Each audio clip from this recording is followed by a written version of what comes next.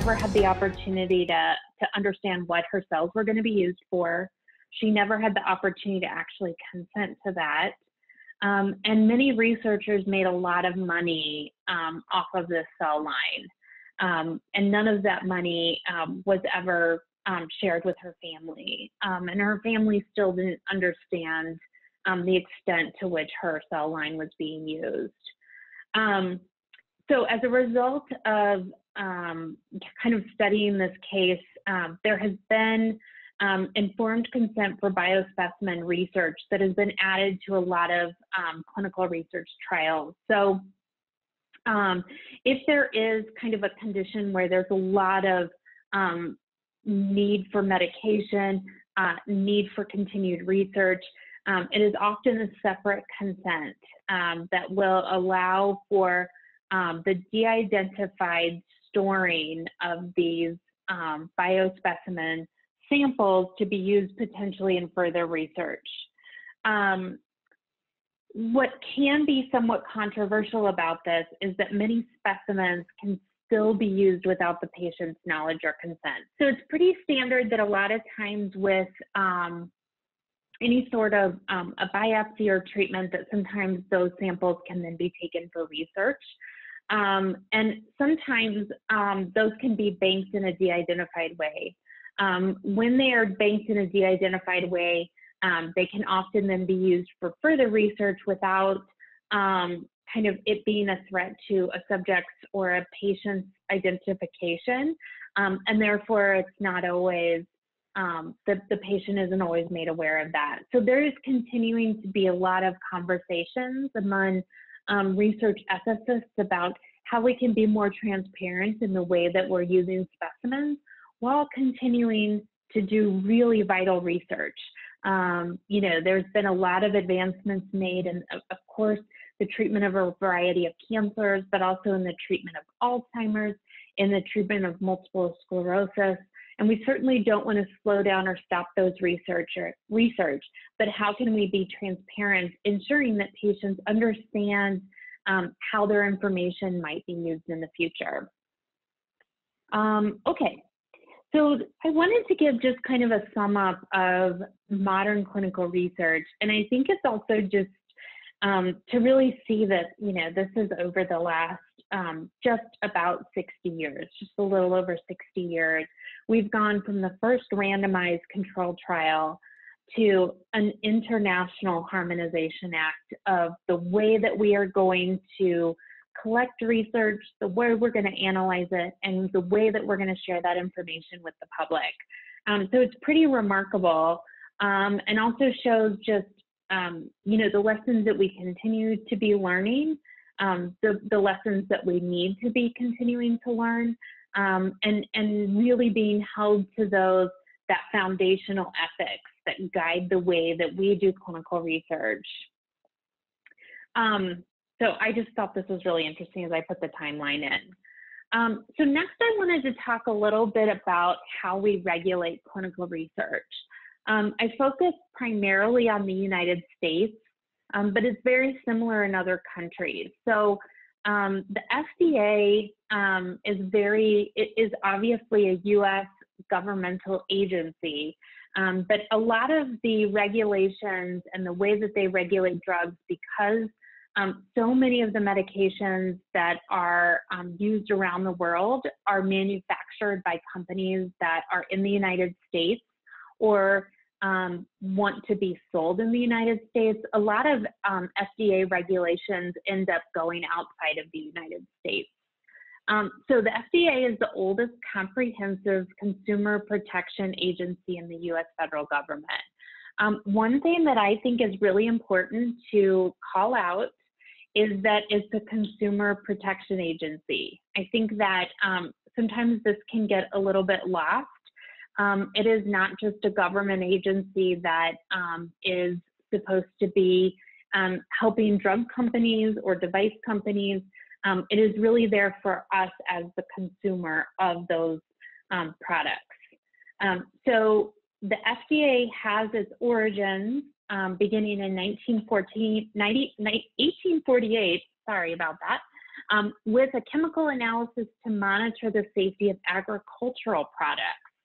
Um, it was known then as the Department of Agriculture, and the Department of Agriculture later became the FDA in 1930. So this really started, of course, you know, with um, in, in, kind of the farming community, ensuring that um, food products were safe to ingest. Um, it became a modern regulatory body um, with the passage of the Pure Food and Drug Act in 1906. Um, and what's interesting is that this became a necessity um, because there were a lot of people kind of making their own homemade concoctions and then selling them as a cure for um, whatever, um, maybe ailing people. Um, and this also ties into some of the ways that alcohol is produced.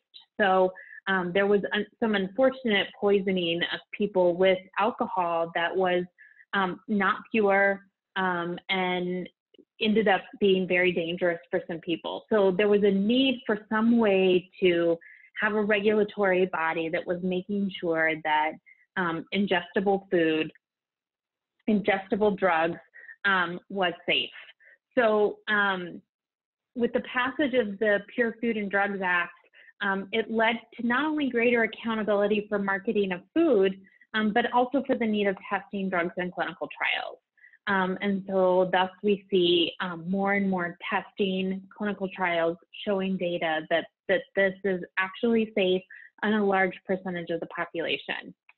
Um, so as the FDA has changed um, through social and economic changes, um, it's also, its reach has, has grown. So it now just um, doesn't just regulate food and drugs or things that kind of go into our bodies, but it also um, regulates cosmetics, so things that are on your body, medical devices, which are things that could be um, used on your body or implanted in your body, um, and also veterinary medicine. So um, they are also ensuring safety of a lot of medications for um, our furry family members. Um, and as I mentioned earlier, a lot of regulations reach beyond the US borders. So um, most medications, most devices, um, while they may be produced in another country um, or the initial testing may be done in another country, um, they will almost always um, end up applying for approval through the FDA um, because most companies have a desire to be able to market either those drugs or devices or food within the United States. So the next um, layer of regulation for clinical research are institutional review boards. Um, and these are an administrative body comprised of scientists and non-scientists that are established to protect the rights and welfare of human research subjects. Um, you will often see IRBs um, within large universities. Um, the University of Colorado has an IRB, it's called COMIRB. Um, and DU has a has an IRB. It's a little bit smaller, um, but any academic medical center um, will have some type of an IRB that is reviewing all clinical research that is going to be done um, within their medical center. Um, so there are local IRBs, um, as as I mentioned, like COMIRB. there are also national IRBs. So as there's so much research going on. There can be larger clinical trials um, that may be too large for a local IRB to review in a timely manner. As a result, there are national IRBs that can then, um, you know, are located in different states than maybe where the research is going to be conducted. Um, but they will look at that research, they'll look at um, how it's going to impact the local population, and then they will um, approve that those protocols. So um, for any research that is done at any hospital um, or um, any medical facility, um, all of those protocols have been reviewed. Um, the informed consent forms have been reviewed. Um, and any material that's going to be presented to a potential subject has to be reviewed. So anytime we want to use a questionnaire with one of our protocols, and the patient is actually going to see it, it has to be approved. Um, and so often, if you are participating in any research, um, you'll see at the, the top of one of the pages, often in the corner, um, you know, you'll see an IRB number and a day that it's approved. Um, so the reason that, that these bodies exist is to really ensure that um, this research is not just safe for a human, but there it also has um, there's also a purpose to it that it's not going to cause more harm than um, benefit. Um, these administrative bodies are comprised of scientists who are used to writing kind of a scientific protocol, but they are also comprised with non-scientists. So it's important that um, people without a scientific background can also understand the research um, and ensure that it's safe and meaningful um, for the potential subjects. Um, so those IRBs serve a really important function um, and we, we do a lot of interacting with them whenever we want to um, have any type of research done at an institution. Um, so I'm going to pause just before I kind of go into the different types of research that there are. Um, any questions as far as kind of, um, oh, I see a question. Who chooses the IRB members and who are the non-scientists? Okay, so who chooses the IRB? Um, it depends on the IRB. So sometimes IRBs will kind of put out a call to the community and say, uh, we have an institutional review board that's looking at research that's going to be conducted in our community. Are you interested in serving on this board? Um, sometimes it can be um, faculty, scientists and non-scientist faculty within the institution um, so you will see librarians, you will see um, uh, lawyers, you will see psychologists, you will see um, engineers um, that will sit on these IRBs. Uh, those are all considered non-scientists. Typically, the scientists will be the MDs or a PhD in a scientific field. So a PhD in immunology or a PhD in chemistry or biology.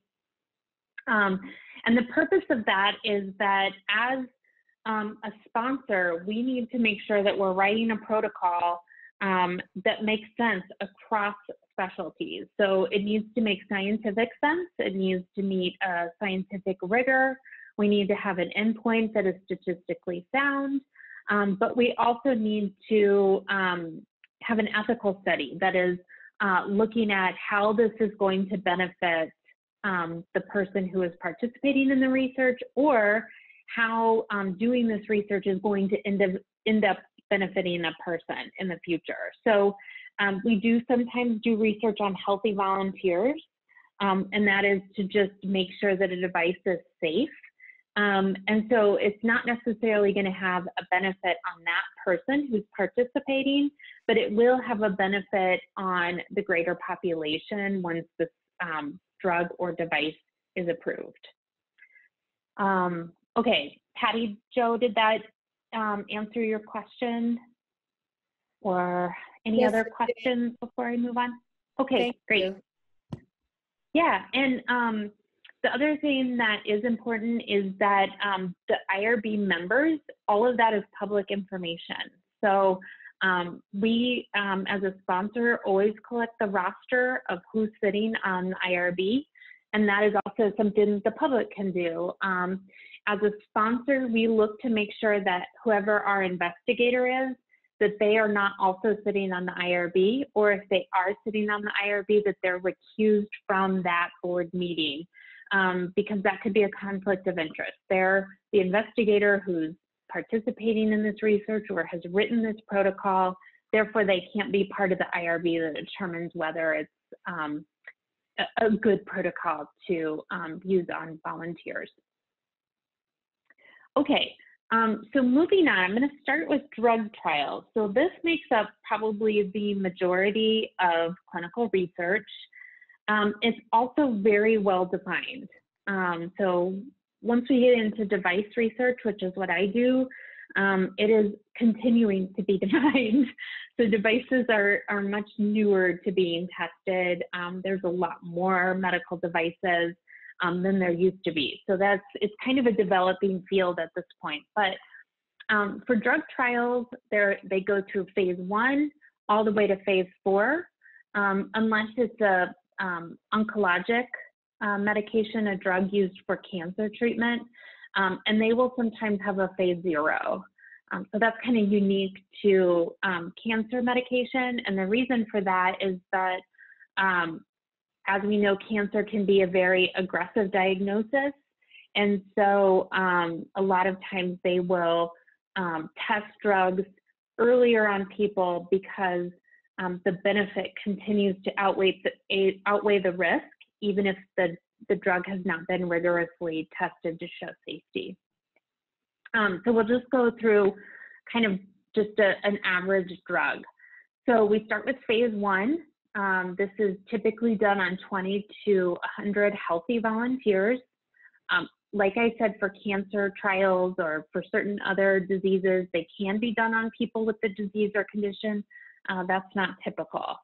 Um, so phase one, they usually start with a very small dose of the medication just to see how um, the patient's going to respond to it or the volunteer is going to respond to it, make sure that there's not a really large um, reaction, um, a, a, bad reaction. Um, it's a pretty short study, so it's only a couple of months. Um, and really the whole purpose of this study is to look at safety and also dosage. So sometimes there can be kind of a graduated dose of the drug, start out really small and kind of gradually increase to a higher concentration. Um, and approximate, approximately 70% of drugs moved on to phase two from phase one. So phase two is when we start getting into testing this medication on people who have the disease or condition um, that this drug is supposed to treat. Um, this phase two study can be several months to two years. Um, the reason for that is that we're um, looking to, to make sure that this drug is safe um, and also that it works. So the purpose of this study is efficacy and side effects. Um, and so that's the reason for a two-year follow-up. So a lot of times, you know, you'll start out with the, the subject is on the medication, and then um, they're on the medication for let's say 90 days. They go off of the medication but they're continued to mo be monitored for up to two years. And that's to look and see if the drug actually worked on the condition that it was supposed to treat and also to monitor and see if um, there were a lot of side effects as a result of being on that medication. And this is where you see kind of a dramatic drop. So only 33% of drugs move on to phase three trials. Um, phase three trials are much longer. So you're looking at um, 300 to 3,000 volunteers um, with the disease or condition that the medication is treating. Um, and these trials go on for one to four years. So they're uh, much longer. They're looking um, at adverse events for much longer, and they're also looking to make sure that the drug works over a long term. So they're looking at efficacy and monitoring of adverse reactions. Um, only about 25% to 30 move on to phase four. Um, a lot of drugs can go ahead and be approved and marketed after phase three trials because you've shown that um, they are working and the um, reactions that might be seen are minimal. Um, and so phase four, a lot of times can be considered kind of a post-market trial. So they're already on the market, and now we're um, monitoring thousands of people to see how um, well does this drug continue to work in a general population, and is it safe? So there are continuings of um, uh, organ tissue or um, other types types of um, tissue, typically from animals, to test whether or not a device is safe. Um, we then move into a feasibility study um, this is done on a very small group of patients. Um, it's not usually driven by statistics. It's really just to um, see if this device is safe and kind of begin building some safety data um, for our next trial, which is a pivotal trial. Um, and so the pivotal trial is really where um, we have typically gone to the FDA with some information from our feasibility trial showing them that the device is safe um, and that the benefit is outweighing the risk associated with the device. Um, it's often used as our primary clinical support for a marketing application. Um, so for devices, they are all very um, tightly indicated for either a specific disease or a specific patient population. Um, and so this pivotal trial is collecting data to be able to show um, that it is safe and effective for that indication that we want to be able to market it for. Um, and then the pivotal, it is, the review is much more complex, takes a lot longer with the FDA. Um, and also our sample size and our endpoints are always statistically driven. So we're, we, we have to show that we studied this on enough people um, and that we were able to achieve our endpoint in showing that this device is safe and worked in a way that we said it was going to work. Um, and then post-market, so we can do post-market studies where we're really just using this device and collecting adverse events in a traditional clinical trial. Um, but then we also have what's called post-market vigilance, where we're always checking to make sure a device is continuing to be safe in the population. And we collect um, events throughout the life of a device. Okay, so I wanted to talk um, a little bit, and I hope that there will be some questions about clinical research in older adults. So um, as I mentioned, often um, research is very narrowly focused. So um, we want to enroll healthy people. We want to enroll people between the ages of 18 and 64 for those reasons, who don't have a lot of medical conditions, whose lab results look um, very healthy. Um, but the result of that means that we are not testing in a population that reflects what our actual um, general population is. Um, and so there have been a lot of efforts made recently um, to ensure that we're conducting clinical research in a population that represents our general population. And that means that we need to be doing research in older adults. Um, and so uh, what has happened is um, looking at um, requiring research to be done in the population that you want to use this device or drug in. So older adult population are suffering the greatest health burden in the Western world, and yet we're releasing drugs and devices that have not been tested on that population. As a result, we can see a lot more complications um, older adults a lot of times respond to medications very differently um, than younger adults who respond to me medication due to um, metabolic changes um, as we age. And um, therefore, we can see a lot more complications that may not have been identified earlier by not doing research on that population. Hey, Stephanie, it looks um, like Susan so, had a question. Sorry. Susan had oh, a question. Sorry. Susan? Oh, um, yes, I, am sorry. It was a sort of delayed question about, you know how there's always in, um, there's always a, a, side effects. There'll be this long list of side effects yeah. Uh, with any drug or in, any kind of procedure. How mm-hmm. do they figure out how that gets on the list? Is there a percentage of, of cases? Those adverse events come in um, and they all get categorized. So there is a, a coding system called the MedDRA coding system. And basically, it takes every type of adverse event and it categorizes it into a body system and into a diagnosis. Um, large clinical trials also have a medical monitor and a lot of times a board of medical monitors. So these are physicians who are separate from the trial.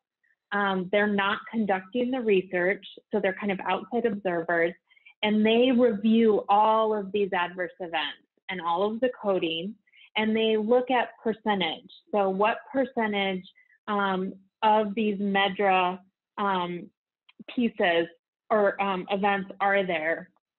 And that's how they make it to that final list.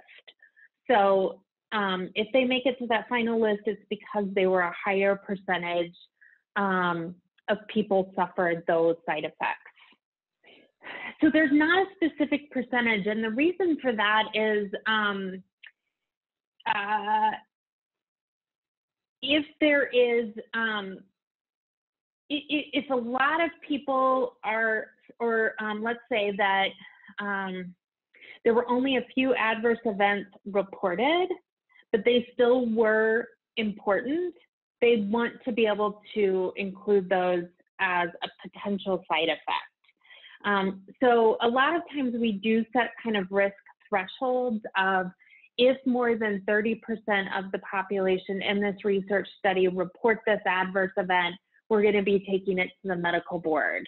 Um, but the FDA then reviews every adverse event that was reported. And if they feel like an adverse event is important and maybe it didn't meet that percentage threshold, they could still require it to be listed as a side effect. Um, so that's part of the reason that they don't set a specific percentage um, for every adverse event that has to be listed as a contraindication or as a potential side effect. see. Thank you. Yeah. Um, okay, and I'm okay if we run over, so um, that's totally fine. Um, let's see. So Paula asked, what if there was a problem with a trial? What happens to those adversely affected? That is, does a volunteer sign documents that protect the organization from any potential liabilities? What rights, protections, and medical services are granted to volunteers when something goes wrong? And then who pays the medical monitors? That's a really, those are really, really good questions. So um, basically, if there is a problem with a trial, um, in the informed consent, we are required to list the adverse events that we are aware of. So in any um, animal testing that we've done, in any benchtop testing that we've done, where it meets a certain risk threshold, then we have to include that in the informed consent as a possible risk. There are things that can happen in a clinical trial that we were never expecting. We never expected that to happen. Um, sometimes that can be a good thing. For example, um, I mean, I guess this could be good, um, but the pulmonary hypertension um, research was being done, and that is actually how Viagra was um, found. So Viagra is a medication for pulmonary hypertension. Uh, I actually had a friend who did this trial. It was done in pediatrics primarily because um, idiopathic pulmonary hypertension is um, a very serious condition, and a lot of times people with it don't live into adulthood. So anyway, they were doing this um, trial on pediatric patients. They started to see this adverse event um, these events happening, and all of a sudden they were like, oh, this medication actually could be used for this other thing. Um, so sometimes it can be a positive. However, um, a volunteer who agrees to do research does not sign away their rights. Um, and that is very important from a sponsor perspective and also from a hospital perspective and the institutional review board. So this is kind of why there are multiple reviewing boards to make sure that we're continuing to advocate for the rights of a volunteer. Um, typically, when you sign up to do research, it's very clearly indicated what injuries would be covered by the sponsor of the research and what um, injuries would um, have to be billed to your insurance. So, um, for example, I do a lot of healthy volunteer studies. Um, any injury that happens would be paid for by us because these are people that had no need to be um, undergoing any sort of medical treatment, and therefore um, we need to pay for any injury that happens. For some people where we're following along with standard of care and potentially using a new device, um, we would ensure that they receive all treatment that could be related to that device and that it's paid for by us. Um, and then we would also ensure that there was a way for them to continue to receive medical care um, our volunteers typically pay. Okay, um, and so uh, we do make sure that volunteers are taken care of um, and that they are um, fully um, receive all of the medical attention that they need. Um, we also make it very clear that in, in an informed consent, um, this does not waive a person's right to um, receive medical care if they were to withdraw from the clinical trial. So let's say somebody starts being in a research study, they decide they don't want to do it anymore.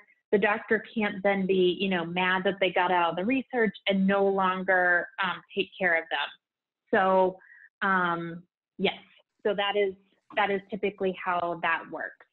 Um, so as far as medical monitors work, um, medical monitors are typically paid for by the sponsor um, because it is a requirement that we have an unbiased um, opinion looking at our research. So I know that um, a lot of times, you know, we want to follow the money trail, and I think that that's um, that can be a problem. Um, and so there have been safe safeguards put into place where um, medical monitors sign agreements saying that you know they will not be um, negatively influenced by the sponsor, um, that they will continue to follow their medical judgment. Um, we sign, we agree to those documents that say that we will not influence the medical monitor, that they are being paid for their unbiased opinion. Um, all of this funding is also all accounted for. So we have um, new acts that have been passed, one specifically called the Sunshine Act. Um, it says that we cannot pay physicians more than a certain amount per year, and that those the things that we are paying them for are clearly articulated in our agreements and contracts that we sign with them. Um, a lot of this came as a result of you know, drug companies paying for extravagant vacations for physicians um, in exchange for kind of using their medication or um, positively promoting them. And so, um, you know, there's been a lot of um, work done right, and I think in a very positive way to um, hold sponsors accountable for um, what we ask of our physician um, monitors and a physician um, consultants um, so that it's very clear what they're being paid for and how they can be influenced. Um, and the way that we interact with them is also very controlled. So um, no more, you know, dinners um, that are not, you know, very focused on a business objective. so I think there are pieces that have been put into place to make this more regulated. Um, volunteers, um, we do typically compensate volunteers for their time. Um, so we're not necessarily paying them to participate in research. We're more compensating them for the time that they are taking out of their um, daily life to be a part of research. Um, we will also sometimes um, pay travel expenses for um, people to be able to participate in research. Um, I saw that a lot in doing pediatric trials. So um, Children's Hospital is a really a regional medical center and um, has specialists for diseases um, that don't exist elsewhere. And so we had a lot of kids that really needed treatment, needed to participate in research to have access to treatments and um, we would pay for them to fly in from other states to be able to. I, we, I was at Children's at the time, but the sponsor paid for um, the the children and their parents to be able to fly in, participate in research. So, um, what's the typical pay? It really depends on how much time a study is going to take. Um, and so uh, sometimes it can be as little as $25 if it's just kind of a questionnaire. Um, I uh, sometimes it can be all the way up to um, a um, thousand or two thousand dollars if we're asking for a lot of time for subjects. Um, I have a study uh, right now that takes about six hours of a subject's time, and so we're paying them, um, you know, between five hundred and a thousand dollars because that's a significant amount of time for them to participate in in the trial.